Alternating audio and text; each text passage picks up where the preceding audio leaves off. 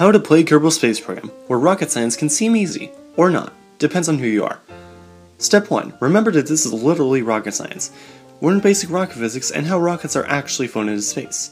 Better yet, become a clone of Wernher von Braun and Neil Armstrong themselves, and you can get to space hopefully before your 50th try. Special tip, watch PewDiePie's video and do what he does not do. Yeah, we might just fall back on Earth. That'd be so anticlimactic. Yep, that's what's happening. Okay, that's just... Step 2. Know some basic NASA type vernacular, especially abbreviations like KSP, VAB, SPH, R&D, SSTO, EVA, IVA, KAS, KSC, LKO, SRB, VTOL, TWR, and SAS.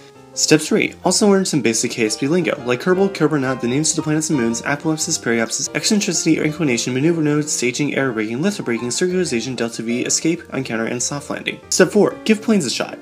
What could possibly go wrong? Step 5. Bad engineering? Use some of the stock vessels. Yeah, the Kerbal 10 will definitely get you to the moon. Step 6. Know the difference between EVA and IVA. You don't want to try to look inside the cockpit and accidentally check your Kerbonaut, do you? Jebediah, what are you doing outside the rocket? Step 7. Make use of custom key binding.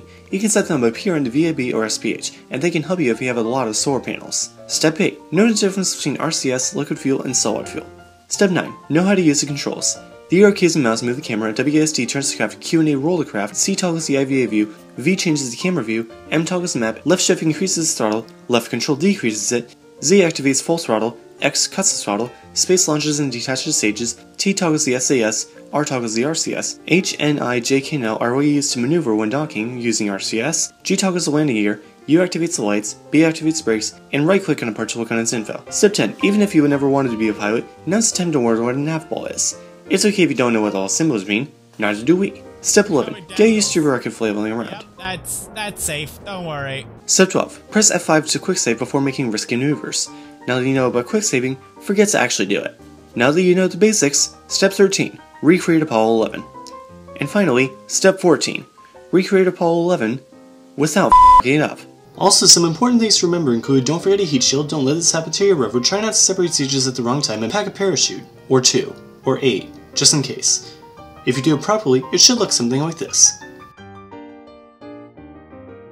Miss anything? Leave a comment and if you want, I might actually leave a serious answer.